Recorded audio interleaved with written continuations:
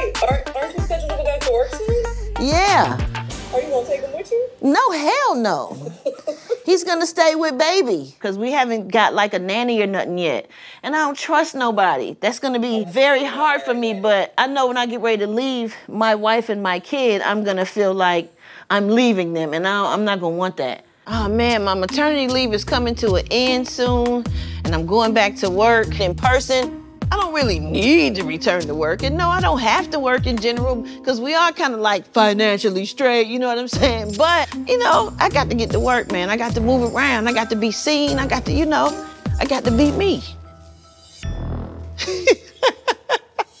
I do radio from 6 to 10. I leave the house around 5. I'm sure baby will be fine. but I'm going to be the one with my heart torn out my chest, missing them.